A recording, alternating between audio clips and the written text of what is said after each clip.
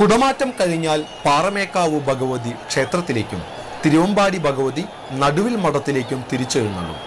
രാത്രിയിൽ ഇരുവിഭാഗങ്ങളും മാനത്ത് അമിട്ടുകൾ വിടർത്തുന്നു. പകലിലെ പോലെ തന്നെ രാത്രിയിലും ചെറുപൂരങ്ങൾ വടക്കുന്നാഥ സന്നിധിയിലെത്തും.